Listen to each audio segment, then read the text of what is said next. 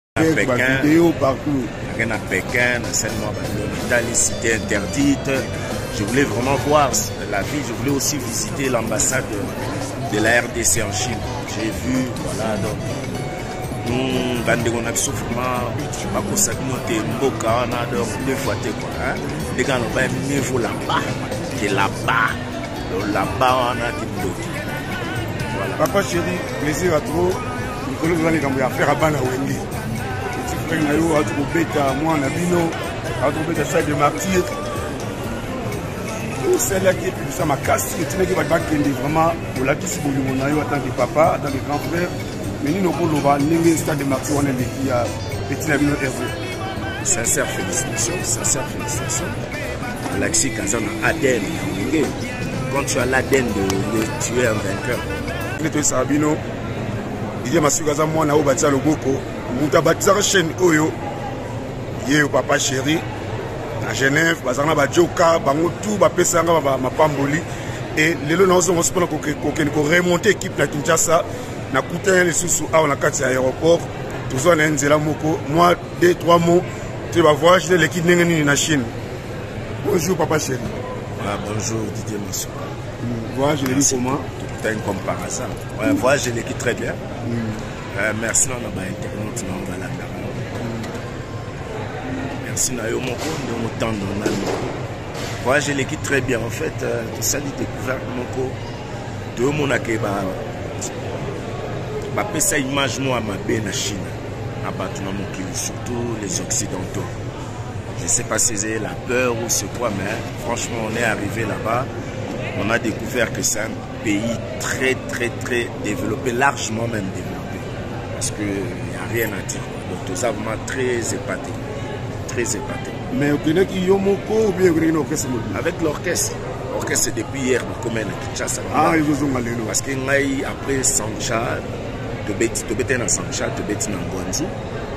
après bango nazwi vol kuna ngai nakendaki parce que nazali na mposa namona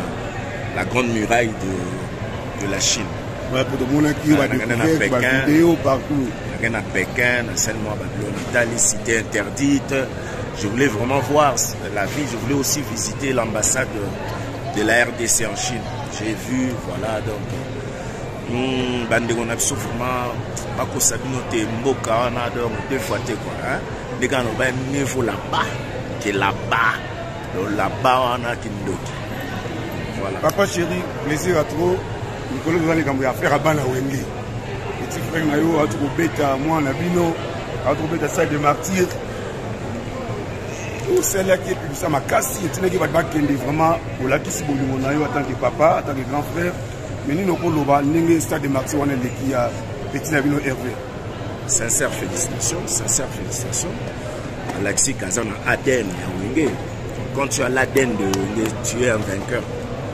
so oza na adn wana oza wenge un wengeman eh, apolaka te kua donc voilà donc alakisi na monde ke aza na adn ya wenge eza lokumu kaka ya biso bato ya wenge te mais eza lokumu ya mizika congo parce que quand on avait dit on a redémarré les gens babana ozongo neti mwa ndenge moko boye on a redémarré hein? aujourd'hui comme challenge motu to alingi abeta na stade ça veut dire la mise à jour s'imposer de fallait ezala bongo e bafleur ebele na ferregola jésus de nuance donc alakisi mpenza ke adn aza nango eza ya wenge président jibe tokozwa ota mingi te ola pratike tomoni emoni eloba mpo na publike oza kozela yo ya wenge muzika mpe cdg mpo baza kozela yo quand on dit cbg ça dit bino tout mais non le grand wenge le grand wenge ouais, le grand wenge on est toujours ensemble ouais. on est en... projet mosusu bozo répété ouais, on a toujours des projets toza koenregistre album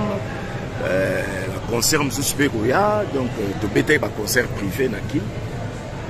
donc bamasa mosusu basi bazongizongi na kin moto atikali eza ale makaba dide masela so nakomi na asi nakokuta bango de la forêt ya latonga na etwalaka na kin blaise boula mpe je pense je pense azali nde azongi adolphe on est avec lui ya kin naye bamisusu basi bazongizongi baza na poto merci beaucoup dernier mot mpona chaîne na yo oyo obatizaka na genève lelo ekuta na yo lisusu ozokende kozonga suma solo na king nini okoba mpo na chaîne na yo ya vie du public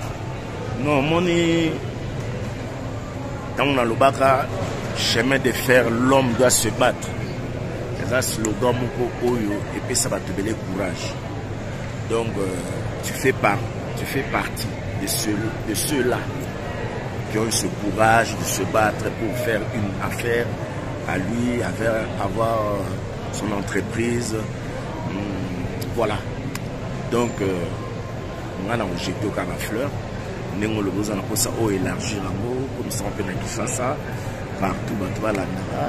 mais surtout baconseil napesaka pas de polémique lelo lelo ezoboma biso bacongolais eza kaka polémique hmm? nakoluka kozala le premier o ngai na le premier moni ngai naboya makambo wana tu naloba moto pamba aza na eloko te batutu baleki ngai nazonga na ngai nsima nalingi na ngai donc vraiment toza na système mieux vaut nzambe ke bandoki donc mieux vaut là-bas ke là-bas ezokanga toujours ekangi na oloba soni c'est des choses voilà merci merci chers amis c'est salvatora de la patrie à motopamba l'esclave de dieu jibin piana pour les intimes papa chéri toujours toujours merci maître raf là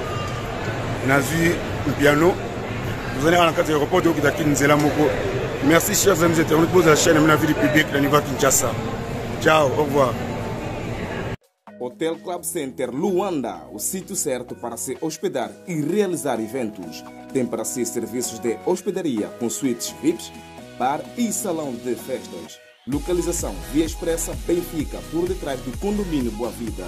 Contatos 935 49 62 86 923 71 72 15 933 86 69 35 923 97 63 40 Hotel Club Center Luanda Conforto, Privacidade e Bem-Estar